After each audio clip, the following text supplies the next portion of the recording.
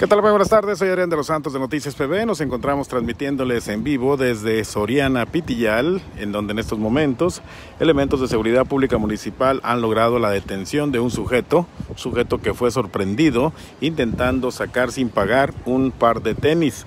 Los elementos de, la, de seguridad interna de aquí, de la tienda de Soriana, Pitillal, pues bueno, se dieron cuenta de la acción e inmediatamente procedieron a asegurarlo para llamar a las autoridades municipales. Comentan las autoridades municipales que por el momento el sujeto va detenido únicamente por agresivo debido a que al ser sorprendido se puso agresivo con los elementos de seguridad y al llegar el personal de seguridad pública también se puso renuente.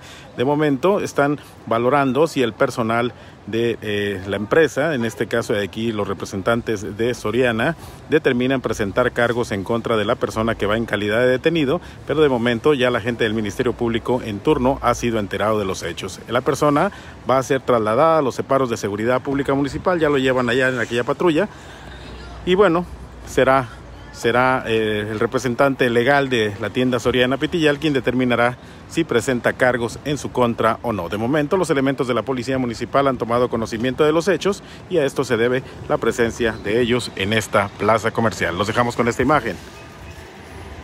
Muy buenas tardes.